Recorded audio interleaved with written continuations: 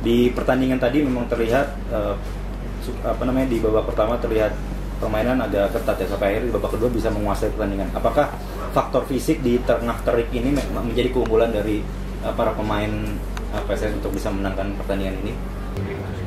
No, for me not because uh, I don't think so because uh, I think the third goal was the key because they for them was a final game to, to try to save the category. They're still very far, and the third goal, I think they they lose all the all the expectations. And of course, you go down morally, mentally. It's not physical because for both teams was very difficult to play. Hot weather, not good for football, and uh, and I think nobody was in highest physical conditions. But I think the result the third goal was uh, decisive. Jadi menurut Coach Sisto enggak juga ya. Uh, menurut Coach Sisto sebenarnya yang menjadi kunci pada pertandingan hari ini adalah gol ketiga.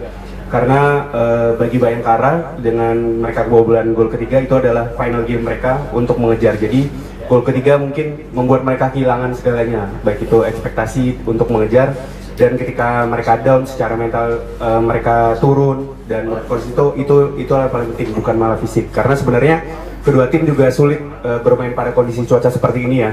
Uh, jadi coach itu juga melihat tidak ada uh, pemain yang sebenarnya fisiknya juga paling tinggi pada pertandingan hari ini dan bisa bertahan lari-larian di uh, lapangan hari ini. Tapi jadi menurut coach sebenarnya kuncinya adalah gol ketiga itu yang membuat mungkin Bayangkara menjadi uh, turun secara mental Kasih sudah menonton. Silahkan subscribe, like, dan jangan lupa komen di bawah ya bola spotter.